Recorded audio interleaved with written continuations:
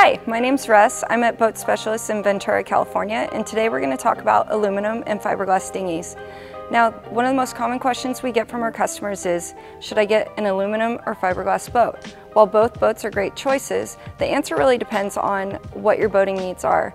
Understanding what you want to get out of the boat will help you determine what boat's best for you.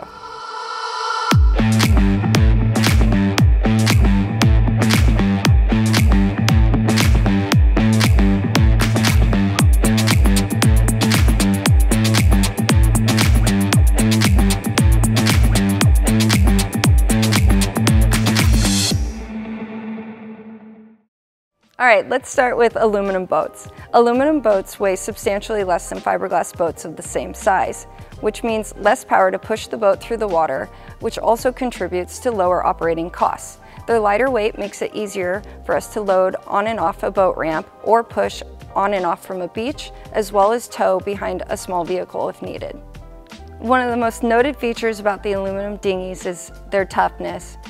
These boats can take on minor impacts, are great for shallow or rocky waters, and though the hull might get a scratch or bend, chances are the material will not break. Many people prefer the crisp, clean look of a fiberglass boat. They also can pretty much guarantee a much smoother, um, quieter ride than aluminum counterparts.